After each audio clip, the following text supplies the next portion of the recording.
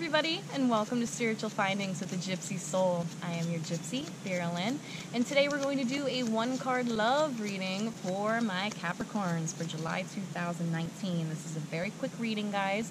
I do way more in depth readings each month, as well as I have live streams. And on the live streams, I offer free readings from time to time. So if you feel yourself interested, go ahead and subscribe and hit that notification bell. It's very important that you hit the notification bell, guys, because the free readings, it's first come, first serve and uh, the notification bell will let you know when I am on, you know, live stream, so you can hop right over as well as whenever I post too.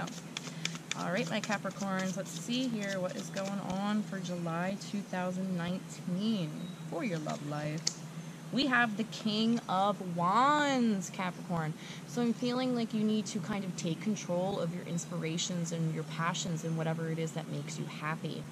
For a lot of you guys, I feel like this reflects on self love okay? Not necessarily love for others. Love reading, guys, this could not only necessarily mean romantic love, but family and self love. So I'm feeling a lot of self love for my Capricorns need to be felt for the summer, okay? Whether it's getting your body back in shape or just remembering the special creature spiritual being that you are.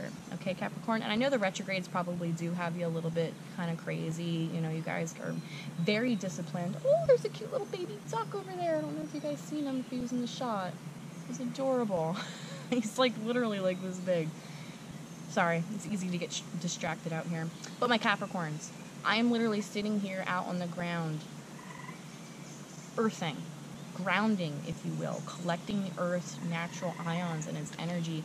You guys are a fellow Earth sign. I'm a Virgo, so I'm an Earth sign. So you need to get out there. You need to ground yourself, you know, whether it's gardening, going on camp, just taking your shoes off and putting your feet on the ground. a lot of people don't think about that, okay? The Earth has a very healing energy to it, and it could help you to kind of gain your self respect back, okay?